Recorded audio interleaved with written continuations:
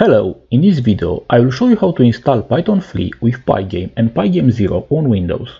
In the second part of this video, we'll check if everything was properly installed by drawing something in a Pygame 0 window. I will also show you how to use the Pygame 0 library from a normal Python script.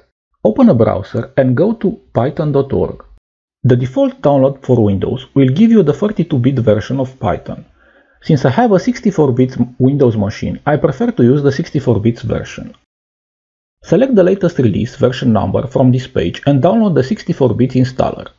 If your computer is 32 bits, you can use the default link from the previous page. The procedure is identical with what you see me doing, except for the installer. Once the download is finished, start the installer. Select Customize installation. Press Next, leaving the default optional features selected. Be sure to check Install for all users and add Python to the environment variables.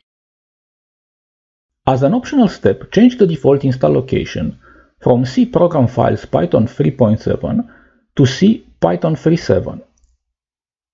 Now press install.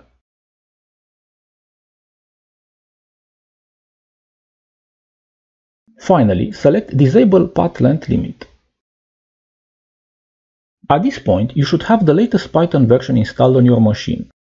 Open a terminal or a command prompt window and write Python to invoke the installed Python interpreter.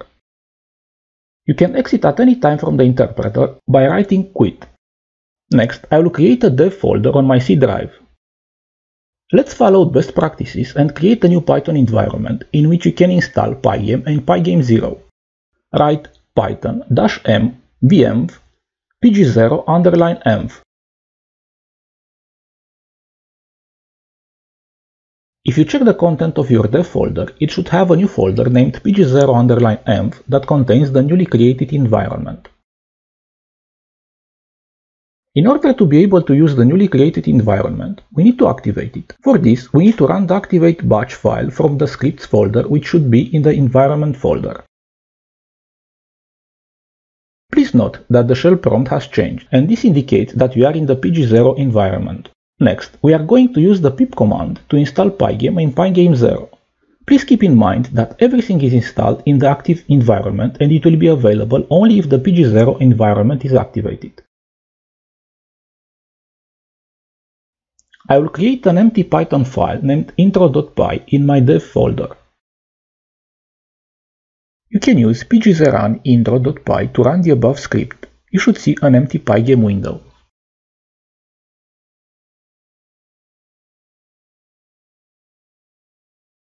Close the window and open the intro.py file in a text editor. For simplicity, I will use the idle editor which is included with the Python installation. Feel free to use your preferred text editor. The Pygame0 library has a few predefined variables that can be changed. For example, width and height lets you define the size of the game window, If you define a draw function, Pygame0 will use this to draw something in the game window. For this example, I will fill the window with the yellow color by using a free numbers tuple, red 255, green 255 and blue 0. Save the file and run the script. As a side note, if you try to run the script like a normal Python script with the Python command, you will get an error. PGZRun takes care to include the required modules and it is intended to be used by beginners for simplicity.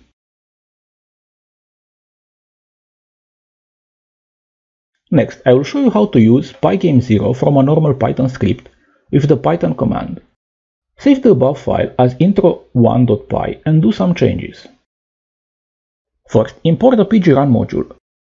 Next, you write the game code like before. Finally, call pgzrun.go function at the end of the script. At this point, you should be able to run the code as a normal Python script.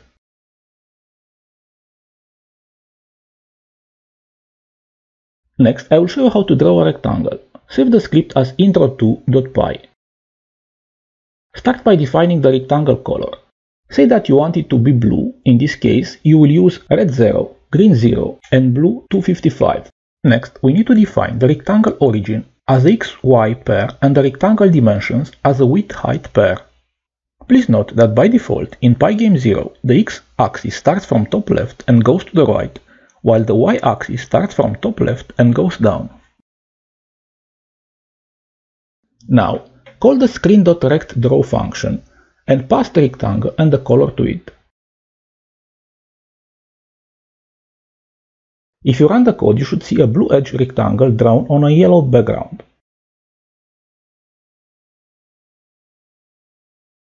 We can draw a filled rectangle by using the screen.draw.fillRect function. If you run the code, you should see a filled blue rectangle on a yellow background.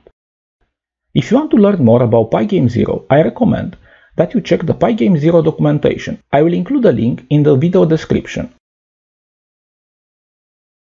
Thanks for watching and please like, share and subscribe.